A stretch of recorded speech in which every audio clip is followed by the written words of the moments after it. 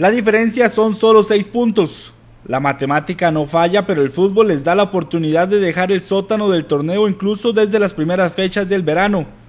Esta es la meta de los generaleños quienes saben que deben jugar como mínimo dos veces ante los rivales y que ahí podrían recuperar la desventaja que los tiene en el sótano del campeonato nacional.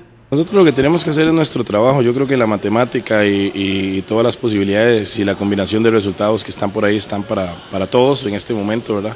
Nosotros somos conscientes que todo eso, haciendo nosotros las cosas bien, vamos a estar en una buena posición. Queremos estar en los primeros lugares eh, de la tabla, como me ha gustado, como siempre ha sido. Esperemos poder eh, lograrlo. Para eso nos estamos preparando muy bien en la parte física en este momento y bueno, y esperar ya para los primeros días de enero contar con el plantel completo para ya prepararnos de la mejor manera eh, dos semanas previas al primer juego de, la temporada.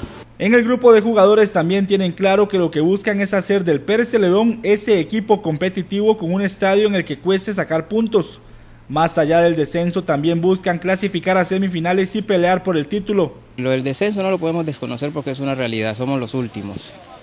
Pero vamos a trabajar pensando en estar arriba, como te dije, porque es que tenemos que apuntar a lo más alto. El compromiso de nosotros, los compañeros que se quedaron, los que llegamos, es de partido a partido, desde la primera fecha, sumar de a tres para irnos acercando a ese objetivo final, porque tenemos que aspirar a clasificar y después de clasificar pensar en lo más alto que es el campeonato. Solo pensando así podemos alegarnos de la parte baja y ese es el gran objetivo que tenemos. En ocasiones no, es tanto de los nombres que usted tenga, sino de, la disposición que se tenga, de las ganas. Eh, veo un grupo que, tiene mucha ambición, que tiene jugadores que, están comprometidos y están trabajando bastante fuerte para, para enderezar, la, barca. Eh, por ahí eh, sabemos que tenemos lo de la lo del descenso ahí, pero estamos eh, mentalizados a buscar más bien las posiciones de arriba, a buscar clasificar y estar entre esos cuatro primeros. De paso le piden a los aficionados que los apoyen este 2016. A ver, a, los generaleños primero, pues desearles una feliz Navidad, un próspero año lleno de paz, de alegría, que lo que se venga sea aún mejor que lo que, lo que termina.